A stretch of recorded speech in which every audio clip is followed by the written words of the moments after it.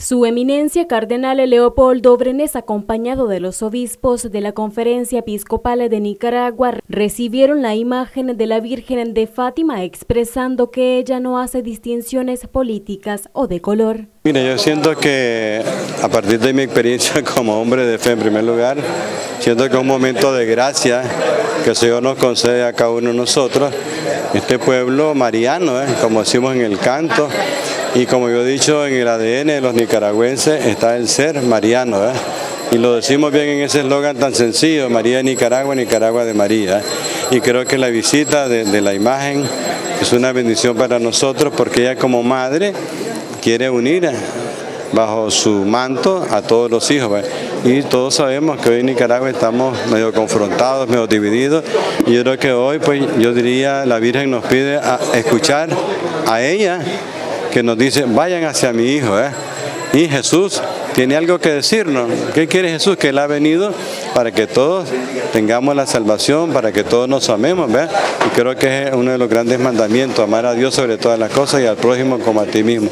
Creo que este, este, este jubileo mariano que comenzamos hoy y terminamos el 25 de, de julio del próximo año, siempre va a traer muchas cosas, muchas cosas y de manera especial muchas bendiciones a nivel personal, a nivel de familia, a nivel de nación. Así que ojalá que todos nuestros líderes políticos, nuestros líderes sociales, nuestra gente que trabaja en el gobierno, todos podamos escuchar a María y luego eh, aceptar lo que ella nos dice. Vayan hacia mi hijo, escúchenlo y hagan lo que él les diga. No, esta es la segunda imagen que viene al país.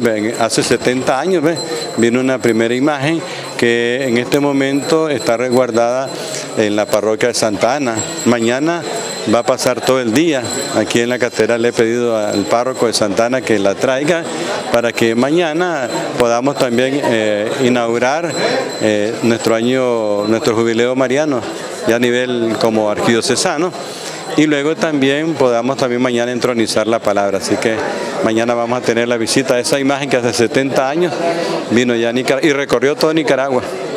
Y había un misterio en esa imagen que era acompañada por unas palomitas.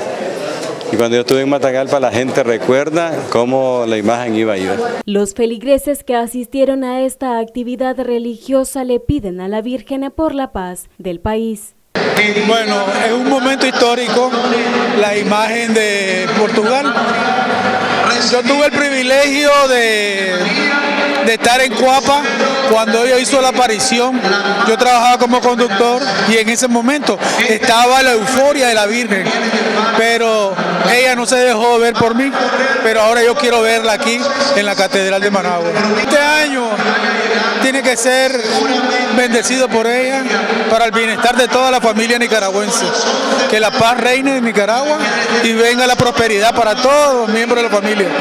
Alegrísima, contenta porque vengo desde Granada. Estoy levantada desde a las 3 de la mañana para estar aquí en este lugar. Este es el canal 12. Ah, mi preferido porque es católico y transmite la misa de aquí.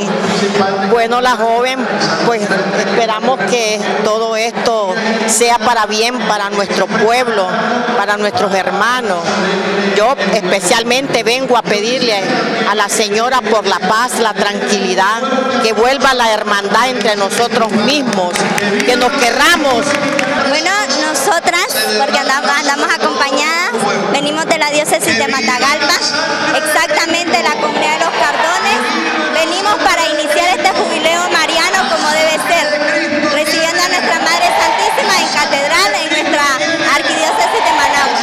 Como dicen nuestros obispos, nuestra Virgen Santísima en la advocación de Fátima es la esperanza de los nicaragüenses, pidiendo por la esperanza de nuestra Nicaragua y que nuestra Nicaragua sea pronto libre Nicaragua que Dios quiere para nosotros.